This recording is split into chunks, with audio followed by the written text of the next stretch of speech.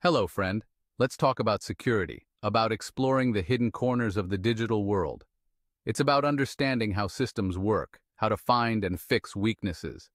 This is the world of ethical hacking. Today, we're turning your Android phone into a powerful hacking tool using Kali Linux. Don't worry, we'll take it step by step. No need for complicated rooting or technical jargon. Think of it like this. You're learning to pick locks, not to break into houses. Our goal is to understand vulnerabilities, not exploit them for malicious purposes. Ready to dive in? Let's begin. Kali Linux is a specialized operating system designed for security professionals and ethical hackers. Think of it as a toolbox filled with powerful tools for testing and analyzing networks and applications. These tools can help identify weaknesses, allowing you to strengthen your own systems and those of others. From scanning for open ports to testing website vulnerabilities, Kali Linux provides the arsenal you need. But remember, with great power comes great responsibility. The tools in Kali Linux can be dangerous in the wrong hands. Always use them ethically and legally. Why use your Android phone for ethical hacking? Simple portability and stealth. Your phone is discreet, always with you, and can access networks that traditional computers might not. Imagine this. You're at a coffee shop connected to the public Wi-Fi. With Kali Linux on your Android, you can discreetly analyze the network security, identifying potential risks and vulnerabilities. Mobile ethical hacking allows for on-the-go assessments, quick security checks, and a deeper understanding of the digital world around you. It's about being proactive, about staying one step ahead. Before we begin, let's gather our tools. You will need 1. An Android phone. Any Android phone will do as long as it can run apps and connect to external storage. 2. A USB drive. This will be our portable Kali Linux system. The larger the storage, the better. 3. An OTG cable. This allows your phone to connect to the USB drive. 4. The Userland app. This clever app lets you run a full Linux system on your Android without rooting. Download it from the Play Store. 5. An internet connection. We'll need this for downloading Kali Linux and updating our tools. Once you have everything, we can proceed to the next step, preparing our USB drive. Section 5. Preparing your USB drive. Rufus to the rescue. First, we need to create a bootable Kali Linux USB drive. We'll use a tool called Rufus for this task. Don't worry, it's user-friendly and available for free online. Download and install Rufus on a computer. Then, download the Kali Linux image file from the official Kali Linux website.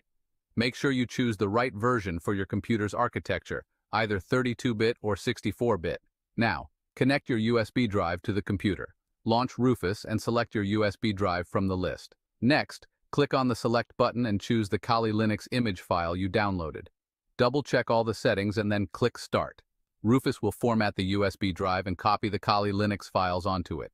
This process might take a while, so be patient. Once Rufus finishes, safely eject the USB drive. Congratulations, you now have a bootable Kali Linux drive ready to be unleashed on your Android. Section 6. Userland, your gateway to Linux. Now let's turn our attention to your Android phone. We'll use an app called Userland to bridge the gap between Android and Linux. Userland is available on the Google Play Store. Download and install it on your phone. Once installed, launch Userland. You'll be greeted with a list of different Linux distributions you can install. We'll be using Debian as it provides a solid base for Kali Linux. Select Debian from the list and follow the on-screen instructions. Userland will download the necessary files and create a virtual environment on your phone. This environment will act as our secure container for running Kali Linux. It's isolated from your phone's main operating system, ensuring stability and security. Section 7. Unleashing Kali Linux on your Android.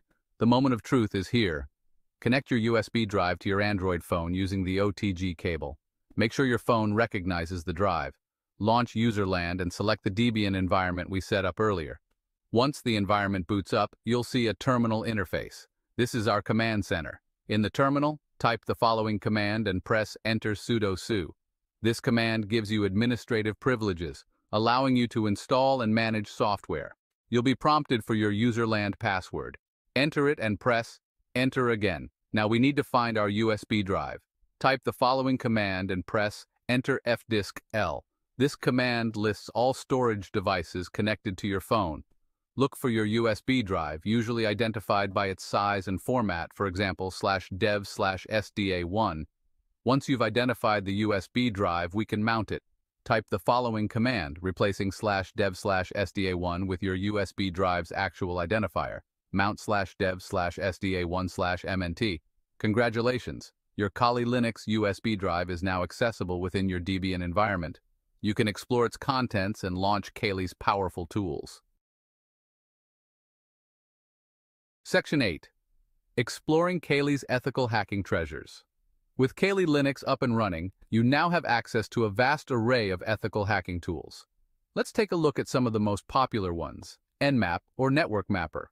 This powerful tool allows you to scan networks, identify connected devices, and discover open ports. It's like having X-ray vision for networks. Next, we have Metasploit Framework. This is a penetration testing platform that provides a vast library of exploits, payloads, and tools. Think of it as a hacker's Swiss Army knife. Then there's Wireshark. This network protocol analyzer allows you to capture and analyze network traffic in real time. It's like listening in on the conversations happening on a network. And finally, Aircrack-ng. This suite of tools is designed for testing wireless network security. It allows you to assess the strength of Wi-Fi passwords and identify vulnerabilities.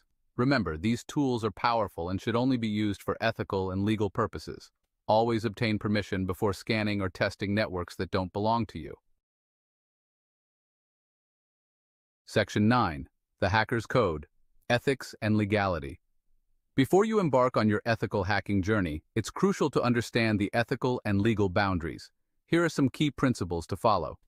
First, Obtain permission. Always get explicit permission before testing or scanning any system or network that doesn't belong to you. Second, respect privacy. Never access or modify data without authorization. Treat all information with confidentiality and respect. Third, disclose vulnerabilities responsibly. If you discover a security flaw, report it to the system owner or vendor through appropriate channels. Give them time to fix the issue before disclosing it publicly. And lastly, stay informed. Laws and regulations regarding cybersecurity are constantly evolving. Stay updated on the latest legal frameworks and best practices. Remember, ethical hacking is about making the digital world a safer place. Your actions have consequences, so always act responsibly and ethically. Section 10. Your Android transformed. A call to responsible hacking. Congratulations, you've successfully transformed your Android phone into a powerful ethical hacking tool. Remember, this newfound knowledge comes with great responsibility. Use your skills wisely, always staying within the bounds of ethics and law. Explore, experiment, and learn, but do so responsibly. The digital world needs more ethical hackers, individuals who use their knowledge to protect, not to harm. Go forth and make the digital world a safer place, one hack at a time.